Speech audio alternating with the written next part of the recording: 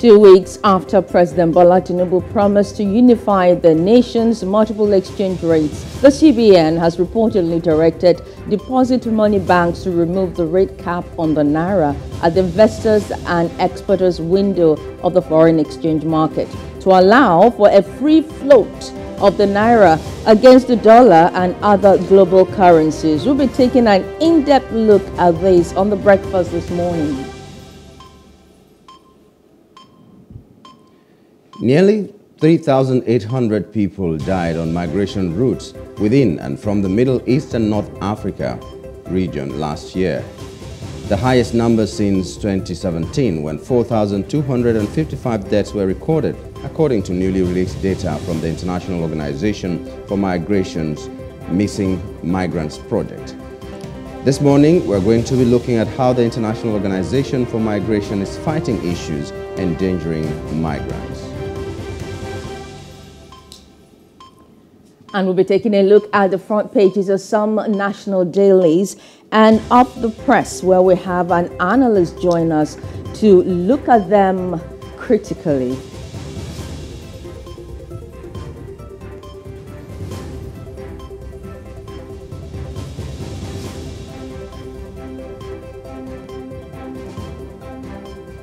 You're welcome to the breakfast. Good morning to you. I am Maureen Menongwezudu. And I am Nyamgul Agaji. So glad to have you join us this Thursday morning. We're hoping that you're going to have a wonderful day. On the island, eh, there were showers of blessings. I don't know what happened where you are, but uh, here it was uh, rain. When I was leaving the mainland, it hadn't started raining. Mm -hmm. But in the course of my journey, it started to drizzle and then it began to rain when I got to the island. And you know how it is on the island. Yeah, we started uh, seeing the rain when we got to as far as um, the third mainland bridge.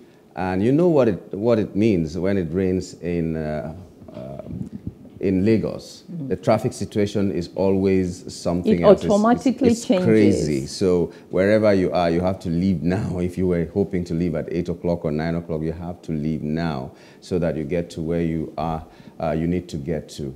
The island, most places are usually flooded or at least the water level uh, when, you're, when, you're, when you're going into the island uh, it's always really high. So wherever you are, you have to start making that journey right now. Yeah, but of course, if you're new in Lagos, that's when this information may really be very, um, mm -hmm. very important to you. But if you're not new in Lagos and you don't know what to do already, you're on your own. You're on a very long thing. All right, our very first top trending today, former Speaker Gbajabiamila has resigned from House of Representatives Nyamgu, yesterday you were asking the question. Mm. Is he go? Is he supposed to be able to combine the two? Yeah, roles? yeah, no. And and and he has done the needful. He has resigned. I just I just don't know why he had to resign and become the um, chief of staff. Is it because of loyalty to the president Tinubu? Because he has been a very loyal person to Tinubu since uh, 1999. Is it because of that loyalty, or is is it because uh, we have now rated office of the chief of staff, which to me is not as great as being a lawmaker, to that status where you can resign. A one-time speaker, the immediate past speaker, resigns as a lawmaker that has been elected into office to come and be a chief of staff. I mean, what really is the importance of that of, uh, posi uh, position that someone will leave lawmaking to come and occupy?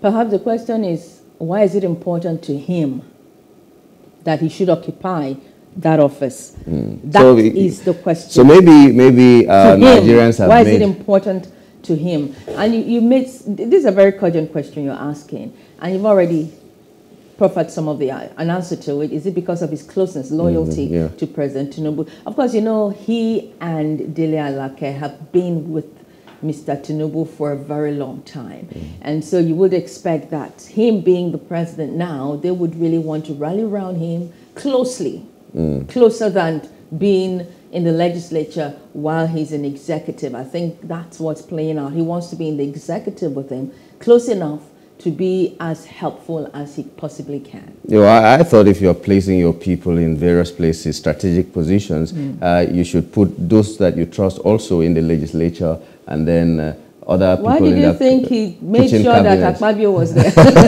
okay, that's another. he That's Akpabio? another thing. That's Why another do you think thing. with all that played out Yeah. with regards to the leadership of the National Assembly? He had vested interest in it. By the way, Akpabio said something that is very, in small words, they're the same things that uh, Lawan said before he came, or when he came into office, that whatever law needs to be passed, whatever, they are not going to oppose the, the president, they are going to make sure that they pass the laws that they need to pass. And he, the way he said it was just like Lawan was saying that there will be no opposition in any form. It is only the House of Reps Speaker that said whenever it is it clashes, yeah, whenever it clashes with the interest of the people, they are going to go against the, the executive. That's, that's, that's what the Speaker of the House of Representatives said. But Akpabio uh, seemed to give a, an open check to the executive that whatever comes, they are going to do it. And another thing that I wanted to ask, uh, if we had a lawyer in the House who would have been, uh, he said that if the fuel subsidy removal needs legislation to back it, they're going to give it. So my question to myself was, so it didn't have legislative backing and he just went ahead and removed it. Is that supposed to be done? Is that legal even? So uh, if you're going to remove it before you look, look for legislative backing, that means it's illegal. You didn't remove it the way you should, you should remove it. Because if it needs legislative backing, he shouldn't have removed it before it. But I don't know. Maybe Akpabio didn't know that it had legislative backing and all that. Let's see how it plays out. No, but- well, the, the, the, the Independent National Electoral Commission, INEC, I'm moving from that to, to say that they will now have to conduct a fresh election for, you know, to fill the seat of Femi Gbajabiamila, who has just resigned from his own seat. Okay, uh, they need to do that. They will do that. Let's see how it goes. Will they use BVAS? I You know, BVAS doesn't work. It works for other, you know, levels of, you know, offices. It's the presidency that BVAS. Hmm. Oh, okay, I see. So it should work here. So Surulere constituency one Hmm. should be getting set for that election. Yeah. So uh, two places, two, two seats were freed up because of the presidency of Asiwaju Bola Tinubu. Uh, one of them was uh, uh, where the wife, um, Remi Tinubu, used to be uh, the senator, and now Gbajabiamila, House of uh, Reps. That position has been freed up. So two Lagos boys or two Lagos girls. Or Lagos boy and girl. And girl are going I to imagine that. that, uh, Mrs. Uh, Tinubu would want a woman to fill in her space because Yeah, a woman filled in actually. Um, uh, one time, uh, deputy governor, uh, what's the name again? But the one time deputy governor, I think under uh, Ambode, uh, was the one who took the position. So Oh yes, oh yes, oh yes, I do remember. All right, so our second top trending, FG to introduce tuition fees in universities. That's federal government is set to introduce fees in federal universities, polytechnics, and other tertiary institutions following the signing of the student loan bill. Uh, well, a lot of people applauded the federal government for this uh, loan thing until I read what uh, the ASUU president Osodeke was saying about this whole thing. That the universities, as we have them now, do not have tuition fees as it is. Yeah, they have other fees and all that, but they don't have tuition fees. So if you're introducing loans, student loans, and then introducing tuition fees, it might come to the point where students may not even have that kind of opportunity which the loans is supposed to give them to go to school. And if they do go to school, how is the repayment going to be? Are they, are they jobs, ready jobs that they can leave school and come and work and have the jobs to pay back? Is there data enough to, to follow these people and find out that they're working whether in the private sector or they're self-employed and all that and all that? So it's a problem, which means it's like they say about the devil. He gives you with the right hand and he collects with the left, or gives you with the left and collects with the right. I'm So- trying to bring out a list that I saw in the course of the week. You know, this is not the first time student loan um, has been brought to fore in our in our space. Um, as far back as, all right. I, Yeah. I want to bring out, there's this um, list of defaulters way back uh, when they executed this same thing, student loan. So this time around, they have to, remember I did say we, we, we need to see the modalities of how this is going to play out. Mm. And so once we are able to get a look at, I, I, we've seen a bit of clarity, um, and I did say also they need to create jobs. Yeah. Just as you have rightly stated. There is a need to create jobs so that when the students take these loans, they can pay back the loans. So, but it would have been very, very nice if the loans are given to pay for the things that are required in the university now without having to introduce tuition fee, which is not in the university system right mm -hmm. now. Mm-hmm. Because if you're introducing tuition fees and then you're giving loans, it, it doesn't really make any difference. We're finding it difficult to send our children to school or for people to go to school right now. Mm -hmm. And then you're saying you're going to help us, but you're going to give us a bill which we did not incur before now. So I don't know. Okay, let me read this. Let me read this. Uh, the Nigerian Student Loan Board is regrettably publishing the list of the particularly uh, of the following Nigerians who gave false address and names of non-existing guarantors to the board when they were students in their respective institutions of higher learning in the country for the purpose of obtaining loans. All right? Mm and said the board hereby appeals to members of the public in general in the appropriate cases where the Nigerians have already been employed. You know, particularly in the of the list which have been updated, uh, consist of the whatever up to March 31st, 1980.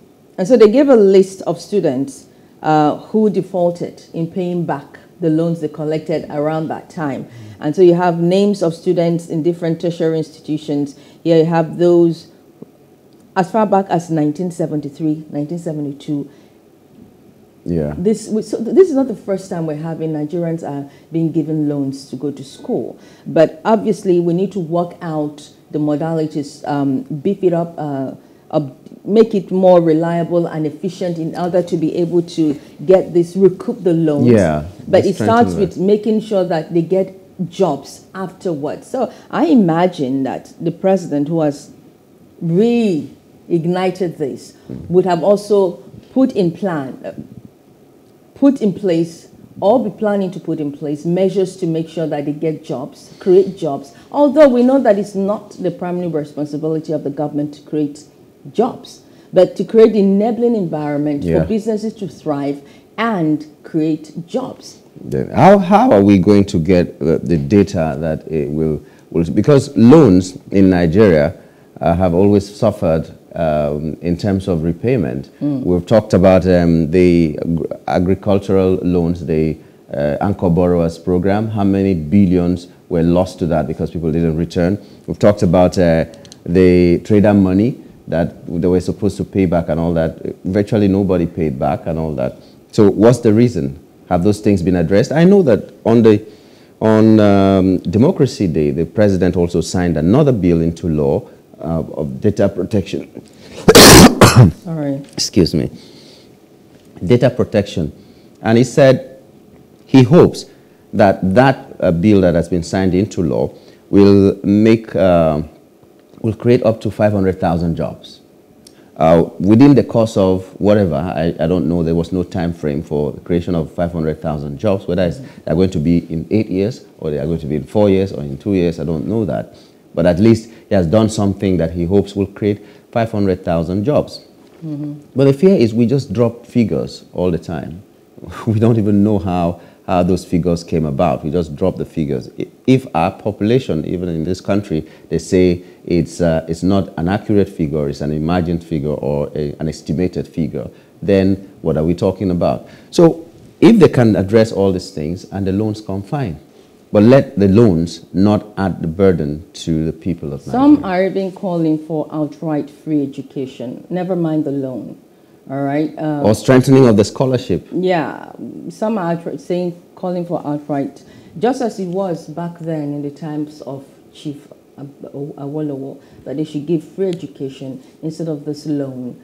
But of course, we know that these loans are not entirely bad if they're well they're not, no. implemented. If they're well implemented, and if students will be able to get jobs when they come out. But as I said, I imagine that the president who is reenacting this uh, would have factored in the need for students to be able to get employed when they finish school so that they can pay. I just read out, uh, how, albeit not very smoothly, uh, that message from way back when uh, loans were given to people back in the days 72, 1972, 1973, and they were defaulters.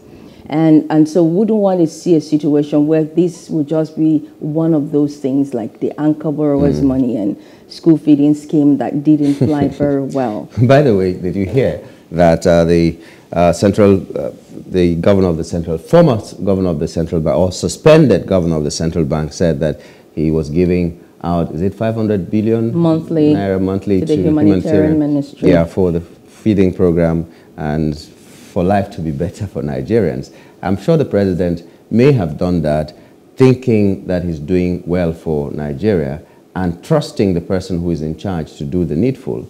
Unfortunately, Nigerians didn't see that. 500 billion monthly? monthly?